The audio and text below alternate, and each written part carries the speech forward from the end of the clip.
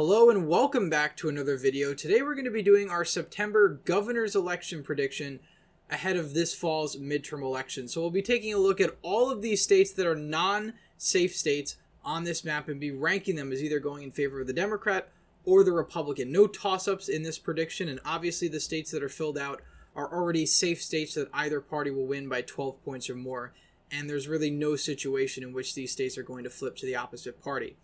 Now, we've only got 50 days until the midterm election, so in some ways that's really coming up fast, and it really is, but at the same time, it could still be a political lifetime, and some things in this video may end up changing come November, and that's why we're going to be doing this series monthly. We'll do another prediction again in October, and then, of course, a final one in November. So we're going to start off from West Coast to East Coast and make our way across the country. But before we do, if you're new to the channel, please consider subscribing down below and liking this video if you enjoy. So anyway, we're going to start off with the state of Oregon. Oregon has a very interesting dynamic this cycle because there are three top candidates running for the governorship. You have Tina Kotek, who is the Speaker of the Oregon State House, Christine Drazan, who is the Republican nominee, and then you have Betsy Johnson, a former Democratic state senator turned independent.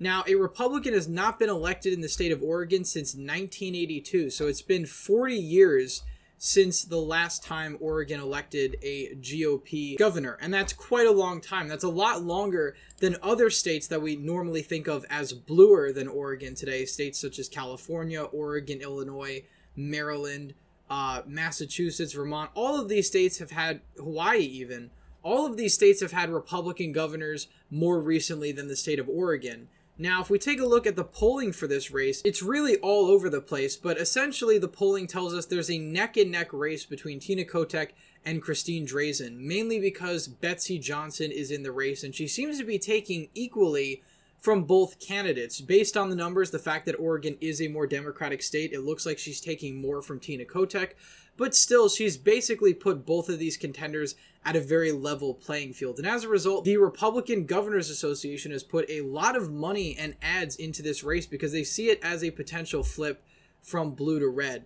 Now, ultimately, Christine Drazan seems to be leading in the polls very narrowly. Of course, we don't have an overall aggregate, and it does get confusing with the undecided and, of course, Betsy Johnson in the race. But Tina Kotek has a lot to prove because she is ultimately going to be tied to the Brown administration, which is extremely unpopular in the state of Oregon. Kate Brown is one of the most unpopular governors in the country for a variety of reasons.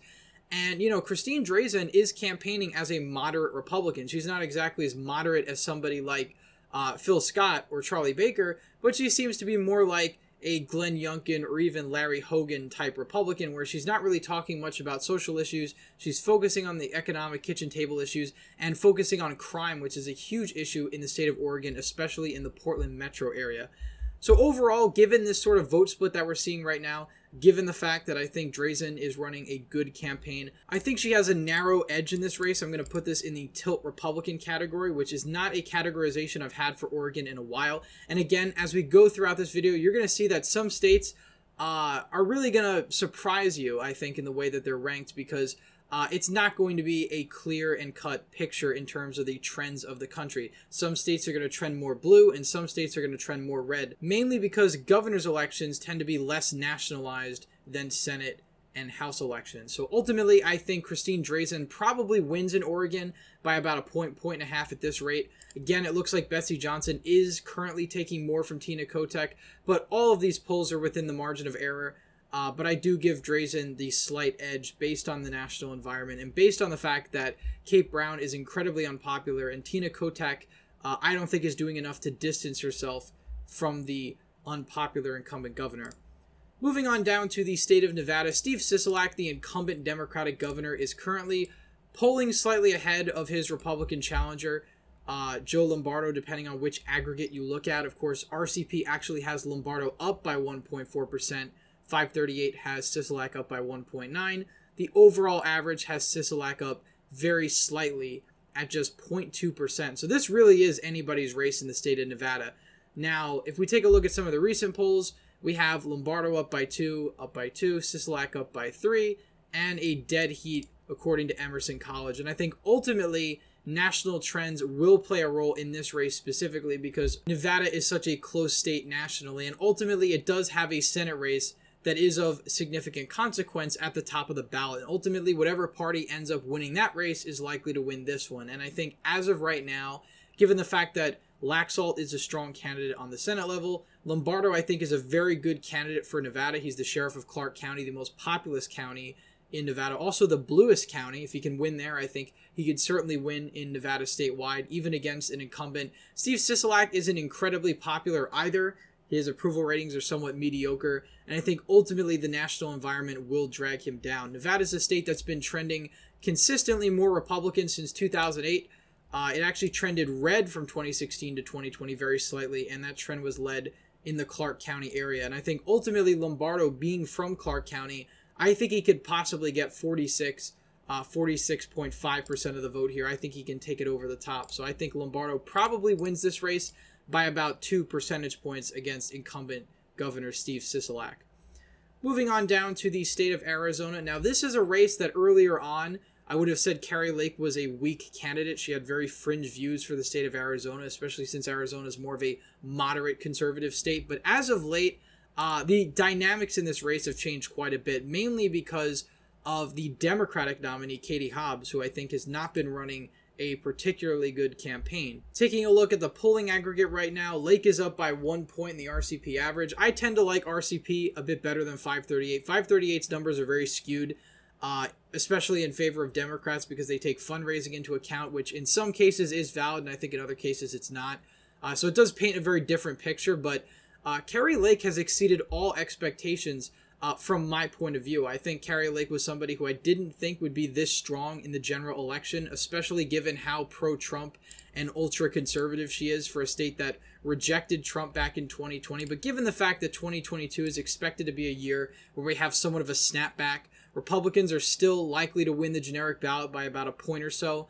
Uh, I certainly think something like that could carry her over the top. And Katie Hobbs won't even debate Kari Lake, which I think is very poor optics. I think Katie Hobbs could have ran a much better campaign. Again, Kari Lake has some very unpopular and even fringe positions in terms of a broader general electorate. I don't think Katie Hobbs has effectively communicated that in a strong way, and I ultimately don't think uh, she's a good fit for the state of Arizona. So ultimately, I think Kari Lake probably wins this race. I also think this is going to be about a two point margin, very similar to Nevada. Again, of course, we're 50 days away. It could change. Kari Lake could do better. Katie Hobbs could do better. But as of right now, uh, September 19th, that's the way I see it going. I think Kari Lake wins by about two points, 50 to 48. Moving on over to the state of New Mexico. Now, again, this map is going to be pretty interesting because uh, the trends are not all going to be uh, equal. You know, some states, again, like I said, are going to trend more Republican than others, and some are going to trend more Democratic than others. And some might be a bit surprising, especially as we go uh, further east. But taking a look at New Mexico, I think Mark Ronchetti is an incredibly good fit for the state of New Mexico. And you'll notice for some reason, uh, the Southwest tends to like to nominate TV news anchors. Uh, Ronchetti is a weatherman, and Kari Lake, of course, was a news anchor for a very long time in the Phoenix area. But this is a race where I think the Republicans have real potential because the incumbent governor, Michelle Lujan Grisham, is not popular. And not only that, she's not exactly running the best campaign. She has a number of scandals, uh, sexual assault scandals that I think will end up hurting her in the general election. And I think Mark Ronchetti actually knows the state he's running in. He's not running this, you know, extremely uh, right wing campaign in a state that ultimately is a state that voted for Joe Biden by 10.8%. Now, he's somebody that I think can make this race extremely competitive.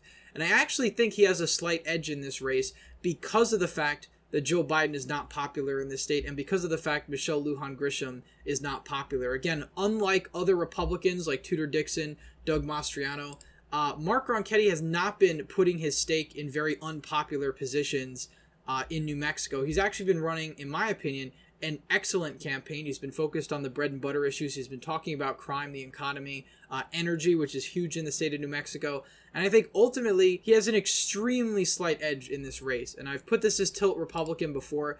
Uh, I think Mark Ronchetti could win this by about a point or so. So I'm going to put this as tilt Republican because I think this race could be very close. Again, Mark Ronchetti, this is the same candidate that overperformed Trump by over 4 percentage points back in 2020. Donald Trump got 43.5% of the vote here in 2020. Mark Ronchetti got 45.6. Ben Ray Lujan got 51.7. Of course, Joe Biden got 54.3. So he overperformed Trump pretty significantly in these more urban suburban counties, which I think are going to be key to him actually winning statewide. Now, I don't think somebody like Ronchetti is going to win Bernalillo County this time around. I'd be extremely shocked if that happens. But I expect him to make it a lot closer, similar to what Glenn Youngkin did in the Northern Virginia suburbs, you know, Fairfax, Loudoun, and Prince William.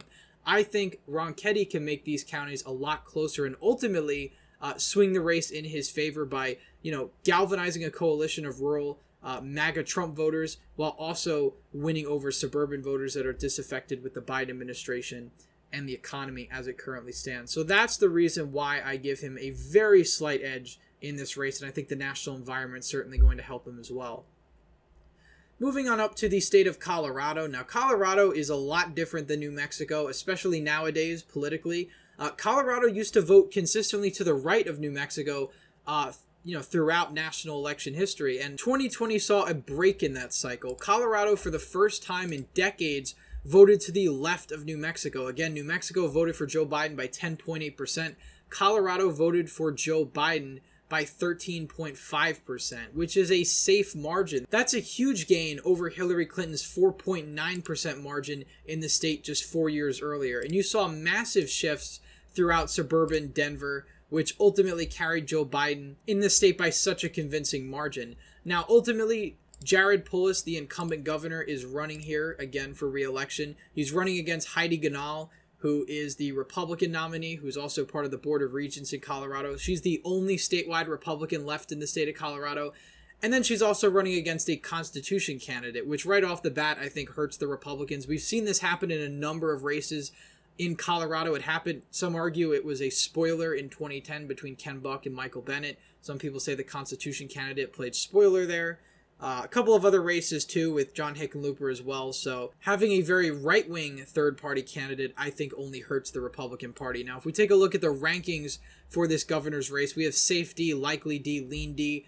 Uh, the polling, the latest poll that we have, which is a Republican firm, has Jared Polis up by seven. Trafalgar has him up by five. Uh, some polls have him up by a crazy amount. Uh, but ultimately, I've been consistent. I think he wins by a likely margin. I think Jared Polis wins by about eight to nine points. Again, I think he's a bit hurt by the national environment, but overall, he's an incredibly popular governor. I think he's going to get a lot of crossover votes. You're going to see people voting for Joe O'Dea uh, in the Denver suburbs and also voting for uh, Jared Polis. Although I'm not saying in this video that Joe O'Dea is going to win. I just say that O'Dea is probably going to outperform Heidi Ganahl, which I think is a pretty safe bet.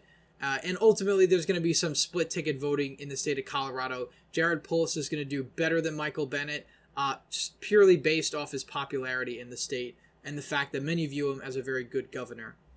Moving on down to the state of Texas. Now, I previously ranked Texas as safe, which is again 12 points or more, but the polls have tightened a little bit, uh, especially in the last couple of weeks. Currently, Greg Abbott, the incumbent Republican governor who uh, I should mention is not as popular as he was in 2018. In 2018, Greg Abbott won a pretty resounding victory over Lupe Valdez. He won by 13.3%, despite the fact that Beto O'Rourke only lost the Senate race by less than 3 percentage points on the exact same ballot. So Greg Abbott got a ton of crossover support from independents and even Democrats. And I think uh, in the last four years, he's become a much polarizing figure. I think the uh, energy crisis that happened in the beginning of 2021 uh, a number of other issues, obviously the Uvalde school shooting, uh, things like that, have really turned a lot of suburbanites against him, although it's still not enough to make this race extremely competitive. The polling average has him up by about seven. Abbott's challenger, Beto O'Rourke, is a very progressive Democrat, very left wing Democrat, but he shouldn't be underestimated in his ability to turn out Democrats, specifically young Democrats in the urban metros around Texas. I mean, if you look at some of the margins, that Lupe Valdez got in these urban counties, and you take a look at the margins that Beto got in those exact same counties on the exact same ballot, there's a huge difference. Lupe Valdez massively underperforms because she didn't really campaign very much, wasn't well known, and Greg Abbott was incredibly popular. His approval rating was plus 20, plus 25 throughout the entire state. This time around, Greg Abbott, I, I believe, is either slightly above water or slightly below water, uh, depending on which poll you look at. But ultimately, that's certainly not something that's going to help him. Uh, obviously, I think Beto O'Rourke has done some things since 2018 that would turn him off to some moderates. Greg Abbott is still leading among independents. Uh, I think he wins this race, but I think he wins by about 10 points. Again, I could be wrong. It could be closer. It could be a little bit more uh, in favor of Abbott. But at this point in time, I think he probably wins by 10 points. I think that's a very safe bet as of right now. Moving on up to the state of Kansas, I made a video on Kansas uh, a couple months back stating that I thought Laura Kelly was going to lose her reelection, and I stand by that. We have one poll that came out of Texas that I think was a little ridiculous, which I believe had Laura Kelly up by uh, you know, 12 points. I don't think that's going to happen. Echelon Insights never really has good polling, so I wouldn't really take any uh, real serious look at this, especially given the fact that they've been extremely wrong in a number of races. But the polls besides Echelon show a pretty close race. You have a three point advantage for Kelly, three point in favor of Schmidt, three point in favor of Schmidt, four point in favor of Schmidt. Ultimately, I think the polling and the results will break in Schmidt's favor given the national environment. I think Laura Kelly will, and she is you know, hammering him on the issue of abortion. She has a decent amount of Republican support as well, uh, mostly, if you'll note, by former uh, Republican uh, representatives and statewide officials, not really any current. But I think as of right now, Schmidt still wins. I think he wins by a likely margin. I used to say about 10 points. I think it's going to be about six or seven. I think it'll be closer. Uh, you know, abortion has become an extremely hot button issue, and even in a state like Kansas, which is extremely red, is not exactly the most socially conservative state either. And Laura Kelly is a popular incumbent. So, you know, I previously said she was going to lose by 10. We had a different national environment, different uh, circumstances at that time. I've since kind of moved it a bit more in favor of the Democrats. Moving on up to Minnesota, you have, of course, incumbent Governor Tim Walz going up against Scott Jensen, the Republican nominee. Uh, you know, so far, based on the polling, Walz is the clear favorite. Uh, see, this is what I mean again by 538. 538 has Walz up by 10. RCP has him up by 3.5. Um, I guess it's because 538 takes these Survey Monkey polls, which I think really aren't very reliable at all, and puts them into their aggregate. I don't think that creates a clear picture of this race. The overall average, if you take a look at the RCP and 538 aggregated together, it's Wall 6.7. Uh, you know, Scott Jensen is somebody who I think uh, earlier on had some potential. He was trying to run more of the Youngkin strategy, focus on the kitchen table issues while still energizing the rural sort of MAGA vote in rural Minnesota. But Tim Walz is not somebody who's unpopular. In fact, uh, he's actually fairly popular in the state of Minnesota, uh, despite what some Republicans would want to believe. And I think ultimately uh, he will hold on this cycle. I think he probably wins by about five or six points. Uh, you know, just around in the lean margin, not exactly likely. I don't think he'll go over six points, but I think about five and a half points is a pretty comfortable margin. Again, I think Scott Jensen is uh, a fairly decent candidate, but Minnesota is still a blue state. Tim Walz, I think, is a pretty strong incumbent, and I don't really think there's a lot of anti-Walz energy to kick him out of office. And Minnesota is a state that tends to be immune to these sort of red and blue waves. Uh, to an extent. I mean, the blue wave hit pretty hard in 2018, but if we take a look at some of the down ballot races, uh, in Minnesota. Again, Tim Walz won by over 11 points back in 2018. But if we look at the down ballot races, uh, you know, Attorney General Keith Ellison only won by about four points, less than four points, 3.9%. So this is a race that I think will be a lot more competitive than the governorship. And you could see some split ticketing here because you could see a Republican uh, knock off Keith Ellison. Because if you take a look at the polling for that race, and we're not going to cover it in this video because we're going to focus on the uh, governor's elections.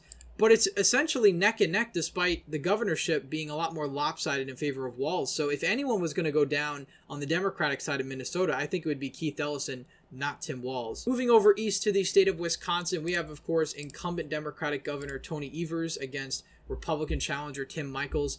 Interestingly enough, Tim Michels actually ran against Russ Feingold back in 2004. He actually lost by around 11 points. Uh, pretty convincing defeat, but he's come back uh, nearly 20 years later to run for statewide office again. And according to the polls, uh, Evers does have a slight lead, but in every single average, he's up by about two points or so. Now, Johnson is actually up in some of the polls in the Senate race, and I think Johnson will overperform Tim Michels. Now, looking at Wisconsin back in the 2020 election, it was the third closest state in the country. Joe Biden only won Wisconsin by 0.6%. That's a more narrow margin than Donald Trump's victory in the state of Wisconsin.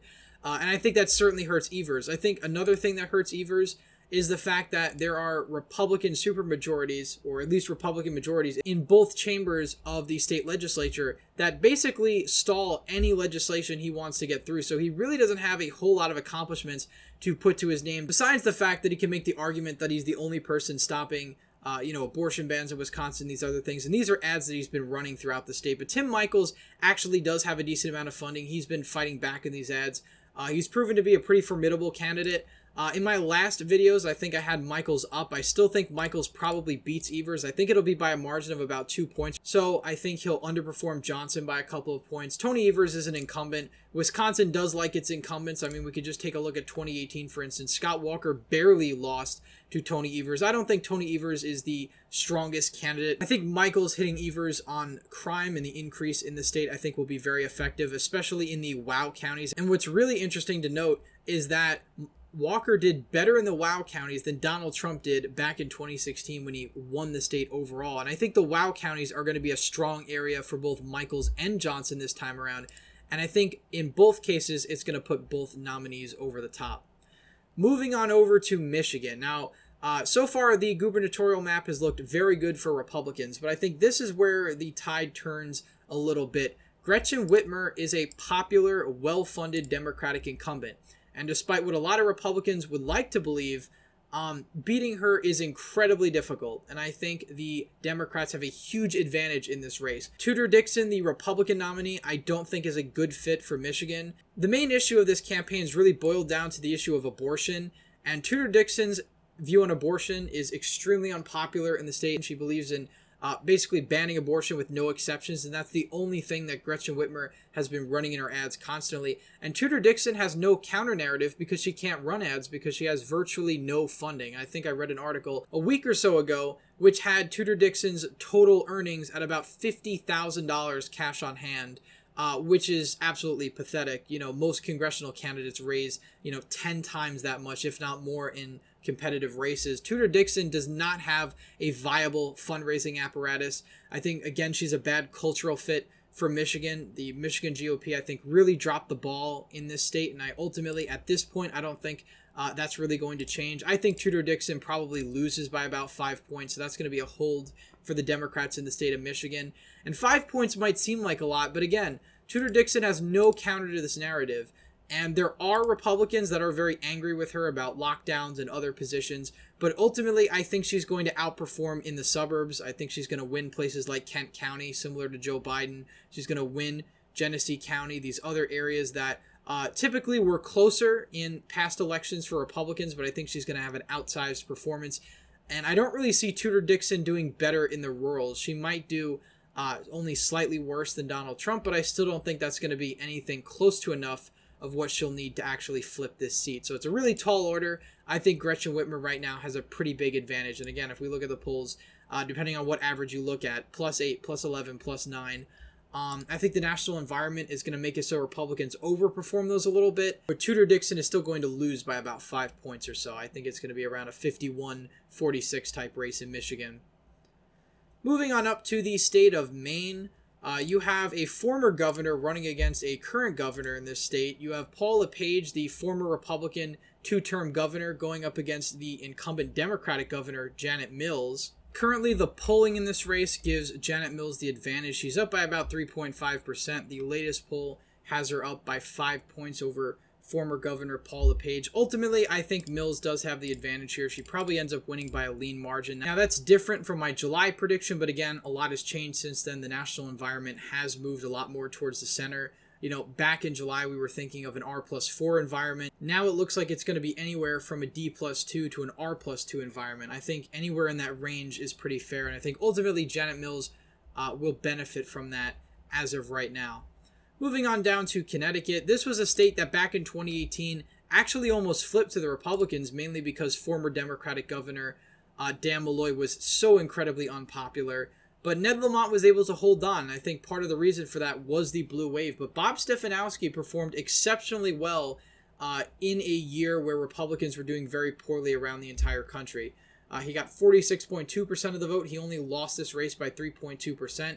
Uh, but this time around, the circumstances have changed. Now, you'd think a redder national environment would help Stefanowski, but Ned Lamont is the incumbent, and he's actually fairly popular. He doesn't have the problem that Dan Malloy had, uh, which was one of the reasons why his two elections, uh, you know, were very close in a blue state like Connecticut. If we take a look at the polling average, Lamont is up by about nine points.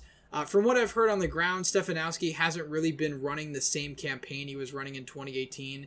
He's really sort of taken a back seat uh, this time around, and I think ultimately that's going to hurt him.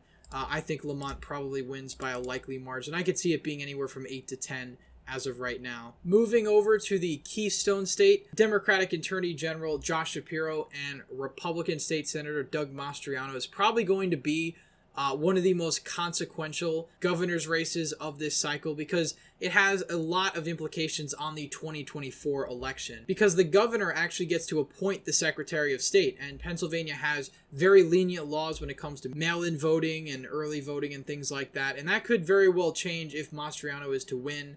Uh, obviously, if Shapiro wins, he'll probably keep the current system, if not expand it even further, depending on which Secretary of State he appoints. So it does have 2024 national implications. And if we take a look at the polling for this race so far, Josh Shapiro has the lead right now. He's currently up anywhere from 5.4% to 10.4%. Now, what makes this race so interesting is the fact that the polling is as close as it is, despite the fact that Doug Mastriano has virtually no money. Again, he has the same problem that Tudor Dixon does. And you'll notice this with the further right candidates. They tend to do very poorly in fundraising, partly because a lot of people don't think they can actually win their respective races. Tudor Dixon, in particular, uh, is doing much worse on that front than Doug Mastriano. But Doug Mastriano has only raised or has a half million dollars cash on hand, where Josh Shapiro has, I think, like $44 million. He's got an insane war chest. He's blasting the airwaves with all of Doug Mastriano's very unpopular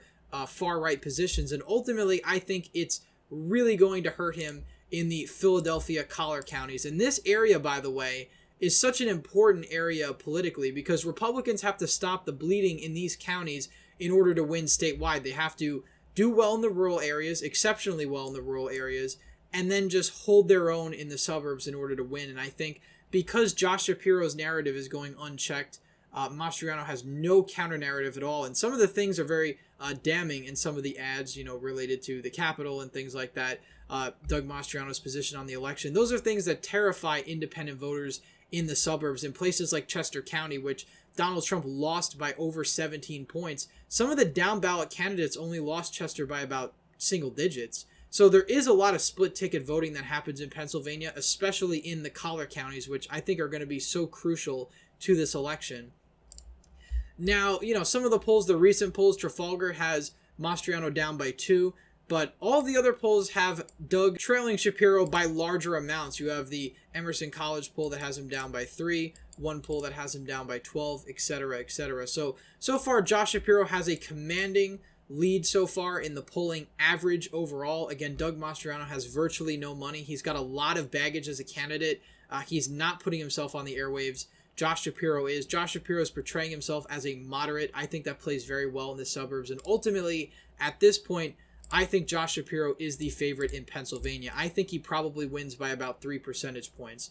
Now, that's very different from my previous prediction in July, but again, a lot has changed since then. Doug Mastriano has failed to really get any significant fundraising, and while he does have Donald Trump's endorsement, there are a lot of moderate and independent voters you have to win in Pennsylvania to win statewide especially in the Philadelphia uh, collar counties, which are much more moderate and not exactly a pro Trump area of the state. And even if Doug Mastriano overperforms in these rural areas, if he does worse than Donald Trump in the Philly suburbs, it doesn't mean anything. He still loses. And Josh Shapiro has an incredibly strong performance in various counties throughout the state, not even so much in the Philadelphia area, although I think he'll do better in the Philly area this time around. But Luzerne County, for instance, this is a county that Donald Trump won by a safe margin. Joe Biden only got 42.3% of the vote in.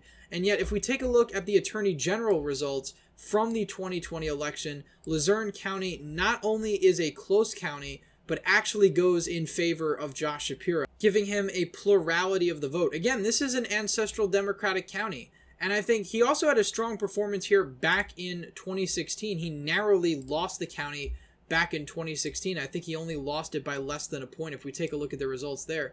Yeah, he lost it by less than a percentage point. So for whatever reason, uh, Josh Shapiro is very popular here in Luzerne County, and this is a big area for Republicans. I mean, Donald Trump has won this by a safe margin both times he ran for president, both in 2020 and 2016. Obviously, he did better in 2016. But I think this time around, Josh Shapiro is just an incredibly uh, well funded candidate. And it's hard to argue that he's not a formidable candidate, especially this cycle, given the fact that he's running against Doug Mastriano and not some other generic Republican uh, that actually has money and doesn't have the same baggage as Mastriano does. Moving on down to the state of Georgia. This is a state that I think will be a lot better for the GOP. Uh, than some of the Rust Belt states. Again, as we're looking at the map so far, the GOP is losing Pennsylvania, they're losing Michigan, they're obviously losing Minnesota. So the Rust Belt overall hasn't really been good for them. They've gotten a pickup in Wisconsin. I still expect that to be the case. But down in the state of Georgia, which is a state that's rapidly trending in favor of the Democrats, Brian Kemp is leading in the polling aggregate by 5.5% overall, and he's beating Stacey Abrams, the same person he versed back in 2018 that he only beat by 1.4%. So you're seeing a shift from the right if current trends continue from 2018 to 2022. Now, ultimately, I think there's a number of reasons for this. One, I think Brian Kemp actually has a record to run on now.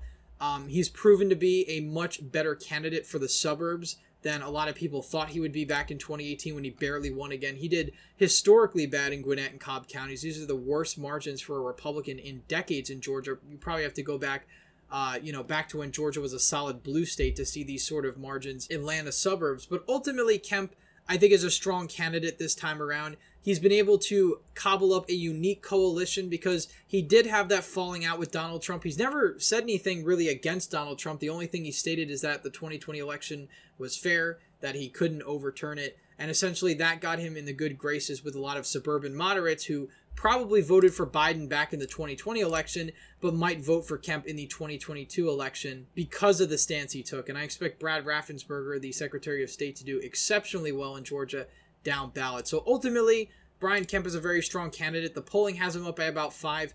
Georgia polling is usually very accurate. So I would think that he probably wins by around this margin. Now, I think uh, he's not going to win places like Gwinnett and Cobb County, but I think he'll get a lot closer. I think the margins here might be surprising. I think he can get easily, I think he can easily get about 44, 45% in Gwinnett and maybe like 46% in Cobb, and I could see Raffensperger outright winning in those counties. Stacey Abrams had her moment, I think, in 2018. She missed her window. This was the blue wave year that uh, she really should have won in. 2022 was not a smart year to run in, especially with Joe Biden being the president and being unpopular. Ultimately, really ends up hurting her at the end of the day.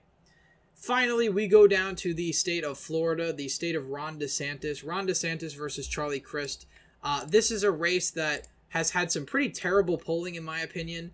Uh, DeSantis is up in the average by about four points or so. I think he's going to do a lot better than that. You have a lot of polls that I think, quite frankly, are very unrealistic. You have Crist leading, which I don't think would happen in the state of Florida, especially given the fact that Ron DeSantis is a very popular governor, and Florida is a state that has lurched to the right uh, in recent years, especially in Miami Dade County and southeastern Florida as a whole. You saw trends to the right. Miami Dade, a 22 point shift to the right that's one of the reasons why Donald Trump not only won Florida, but did a lot better uh, by Florida standards than he did back in 2016 when he only won the state of Florida by a little bit over a percentage point, and he lost Miami Dade County by nearly 30 percentage points. So this time around, I think uh, Ron DeSantis is a strong incumbent. I think Charlie Crist is a weak nominee. He's known statewide, but I think he's made a number of missteps. He's hired uh, as his, or he's taken up as his lieutenant governor uh, nominee, somebody who is very unpopular with the Cuban community. She's been known as a Castro sympathizer.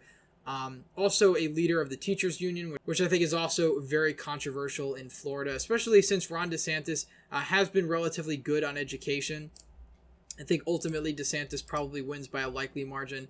Uh, I see him probably winning by about eight points, 53 to 45 at the end of the day. Again, you're not going to see a crazy landslide because it is Florida, but DeSantis is popular and he's polling very well. And, you know, the polls I think are overestimating Charlie Crist, especially because you have a lot of these Democrat and Republican polls that tend to favor Democrats overall. I think the other results where you have DeSantis up by five, six, seven are a lot more realistic uh, at the end of the day. So that puts our gubernatorial map at 31 seats for the Republicans, 19 for the Democrats. Again, we have 50 days until the midterm, so this could obviously change, but this is the way I see it as of right now. Obviously, comment your thoughts down below. Tell me what you agree with, what you disagree with. Don't forget to subscribe to the channel if you're new and you've made it this far. Like this video down below if you've enjoyed. And as always, again, thank you all for watching, and I hope to see you in the next one.